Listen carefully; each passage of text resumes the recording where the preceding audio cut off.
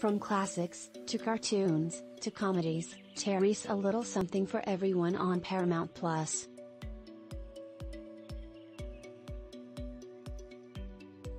The streamer, which essentially is an expansion and rebranding of CBS All Access, officially launched at the beginning of last year and, like similar services HBO Max, Peacock and Disney Plus, it hopes to woo viewers with its deep vault of programming.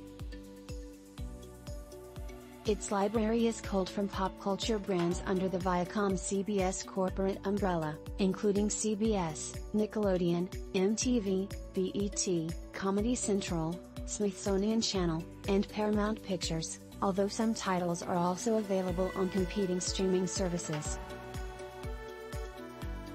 On the TV side, there are quite a few gems worth mining on the Paramount Plus mountain, from classic TV like I Love Lucy to former CBS All Access originals like The Good Fight. We picked the 40 best TV series available on Paramount Plus as of March 2022, listed in alphabetical order.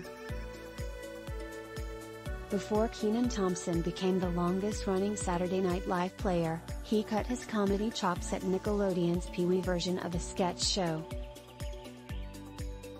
The sweetly funny series, a favorite among millennials, featured Thompson as well as Amanda Bynes, Kel Mitchell, Nick Cannon and Jamie Lynn Spears among its cast members. A Nickelodeon animated series with a devoted adult following, Airbender is a fantasy epic in kids' clothing, with drama to rival Game of Thrones.